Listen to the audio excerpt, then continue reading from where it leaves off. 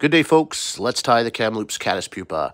I have a size 10 Daiichi 1760 in the vise, and I'm using some olive tying thread.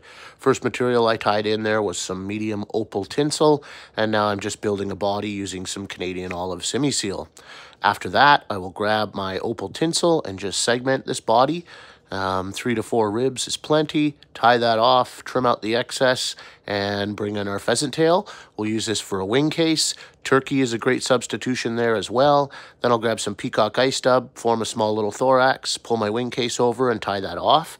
Then I'll grab four to five pheasant tail fibers on each side, tie them in about body length for the legs, trim them out, grab a little more peacock ice dub, dub a little bit of a head, give it a whip finish. We'll brush out that ice dub on the bottom, and you're ready to catch them up. If you'd rather buy than tie, visit customtroutflies.ca.